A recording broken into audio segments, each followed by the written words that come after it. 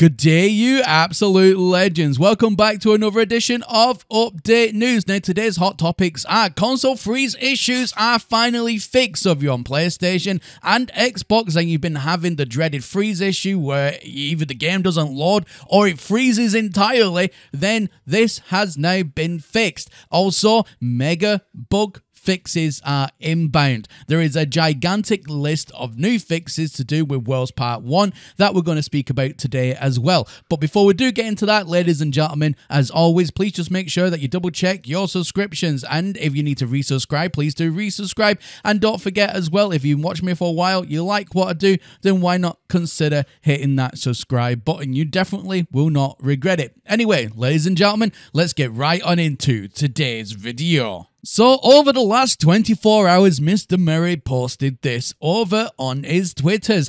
That is right, a gigantic patch list for Worlds Part 1 that fixes a lot of immediate problems that was pretty much plaguing the No Man's Sky community, especially on consoles. Now, there is a lot of console fixes in this, there's a lot of PC fixes, and a lot of mid fixes as well that do sort out a lot of underlying issues. So let's get into today's list, and trust me, it is quite extensive with what they've done here. So first up, we have applied some minor polish to the companion register UI to make it more clear there are more than six available slots.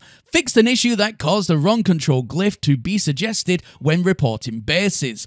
Fixed an issue that made it difficult to rotate the model of the starship or backpack on the inventory page. Now that was a, a, a meh issue, uh, but yeah, fine, whatever. Improved the summoning position of the pirate dreadnought freighter to make it easier to fly into. Fixed a number of of issues that cause inapplicable markings options to appear when customizing some player appearance settings. Now, that is one that I am currently experiencing myself, but apparently that is fixed, so fantastic fixed a rare issue that could cause walls to be missing from some planetary buildings in Gek dominated systems. Why is it always the Geks? Fixed an issue that could label solar class starships as fighters in the Starship Fabricator.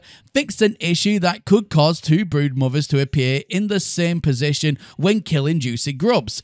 Fixed a number of minor text issues. Fixed an issue that could result in a Minotaur falling through the surface of a planet when loading a save. Fixed an issue that prevented the Minotaur's stun cannon from from working correctly, fixed an issue that caused hostile security drones on derelict freighters to become stuck in the ceiling, fixed an issue that could make it difficult to summon starships to the exact correct position on the water, fixed a rare issue that could prevent progress on the tutorial by preventing warp to the target system, fixed an issue that could result in incorrect counts on the Wondrous catalogue, fixed an issue that could leave lingering echoes of old ships in the quick menu after salvaging a ship. That was a wonderful glitch, but that's been patched now.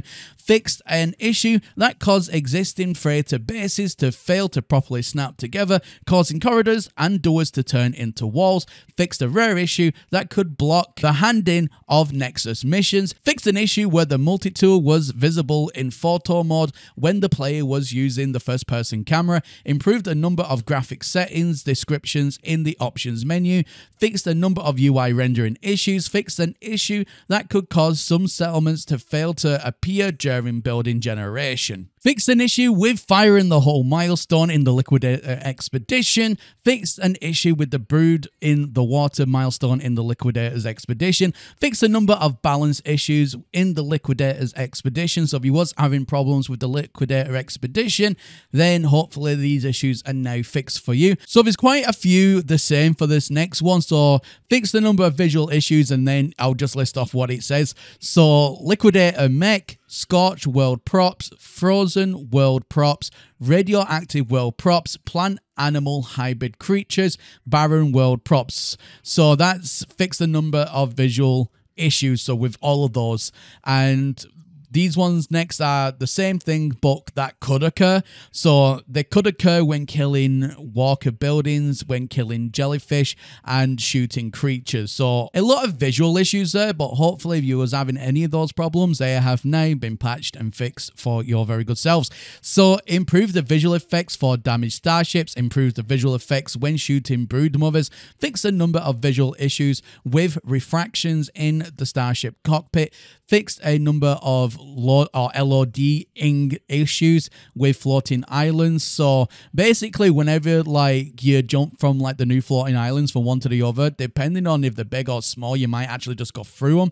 So chances are now that should be fixed, and you can actually like jump on the smaller or bigger islands that are floating. That's I think that's what that means. But again, well, I'll need to go in the game and test that.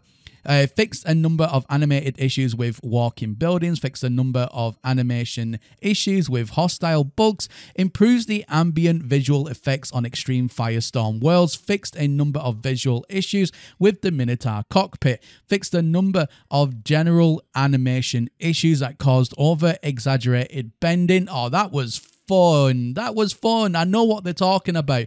But they fixed uh, what I call the stank leg glitch where you went too close to a corner and then the, the whole thing just started to like jig and yeah. I'll I'll, I'll digress from that. But yeah, it, it was fun. But basically that's been fixed. Uh, fixed an issue that caused foliage rendering to become corrupted. Um, fixed a number of visual issues with water rendering and fixed a number of visual issues with wind. Wind is invisible. I don't know how they fixed that, but apparently they've fixed invisibleness now. Fix the number of audio issues with the Minotaur's flamethrower, improve the ambient audio on floating islands, fix the number of issues related to the DLSS 3 and frame gen options. So basically, that one is a very big one because I noticed with DLSS turned on, the water was absolutely buggy as anything. So glad to see that that has finally been fixed added a VR optimization for AMD graphics cards. So again, if you're having VR issues on AMD, that is now fixed. Fixed a crash that could occur when reloading saves. Uh, fixed a crash related to loading Exocraft fix a crash related to texture rendering, loading discoveries, and planetary rendering as well. So they're all fixed. Uh, fixed a VR specific crash as well, improved the quality of water rendering on consoles, introduced a number of Xbox specific performance optimizations. So if you was getting a lot of problems on Xbox, that has now been fixed. Fix a Switch only issue that could make it difficult to interact with the base scientist terminal, added a number of memory optimizations to Switch, improved the quality of particle rendering in PSVR 2. Now, there we go, ladies and gentlemen. That is a huge, huge list of problems that have been fixed, and a lot of these problems was mainly directed towards console and obviously PC players as well. So if you were experiencing any of those issues that have been labeled there, then chances are they have been fixed. But looking at a lot of the stuff that I don't say, for example, it's specific to PlayStation or specific to Xbox or whatever console or platform you're using, but you was having a problem, then looking at that extensive list, chances are it is now fixed. But go onto your consoles or go onto your your PC or Mac or Switch or whatever it is you was on and try and get to the same point that you was when you was having those issues and see if now it works because chances are it should. But if not, report to the Zendesk because you can see they are completely hot on fixing these issues. So if you are still having issues, report to Zendesk.